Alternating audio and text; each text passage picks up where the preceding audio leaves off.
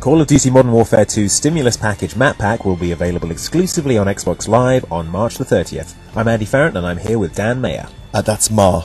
No, it says it says Mayer here to sit down, go through these new maps, and just see what jumps out at us as a couple of Modern Warfare 2 fans. No, no, it's definitely Ma. So, for the stimulus package, there are five maps all told. Three brand new maps, that's Salvage, Storm and Bailout, and two classics from the original Modern Warfare, Crash and Overgrown.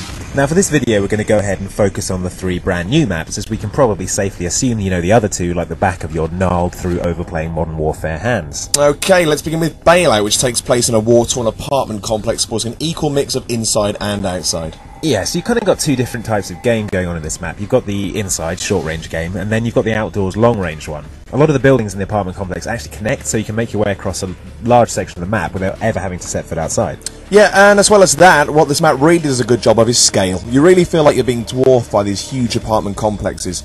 It actually feels like a proper city you're fighting your way through. Even the outside sections have a good amount of cars, crates, walls, and the like.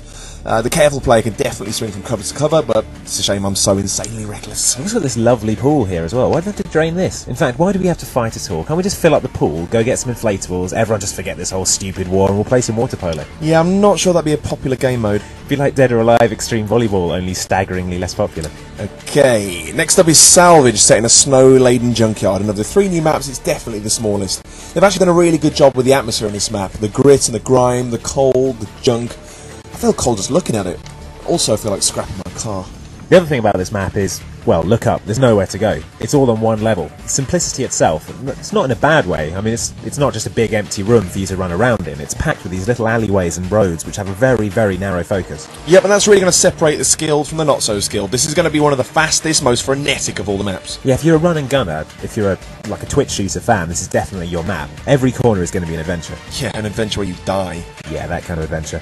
And last up, we have Storm, which lives up to its name with an almighty thunderstorm drenching this industrial warehouse map. Now, what's interesting too is you look at the map and it does have these really long sightlines, right? But I feel like they've done a good job of allowing you to tactically move through, so the snipers are going to pick off a lot of the guys who are in too much of a rush. Those guys who put their heads down and just charge through. They're the ones who are going to get tagged at a long distance. But I think it's going to be easy to pick up on some of the key landmarks to instantly show you where you are, because once again, as far as the layout goes, it's a fairly big map. There is some interior, but the map feels mostly exterior. There is the big warehouse though. There's there's a couple of outbuildings you can get into, a few smaller discrete areas, but your main interior area is this enormous warehouse, and it's it's got a couple of levels to it. Yeah, this might very well be the focal point most people gravitate towards. It's definitely an interesting place to have a shootout just due to the geometry and the complexity of the area. So it's probably best to look at this map as a mixture of salvage and bailout. Yep, it should make some interesting games. Yeah, interesting games that I win. Uh, that would be interesting seeing as it never happens. Well, that's it for this look at the Modern Warfare 2 stimulus package. Yeah, it's out on the 30th of March and it will cost 1200 MSP. Thanks for watching Inside Xbox, everyone. We'll see you on the new maps.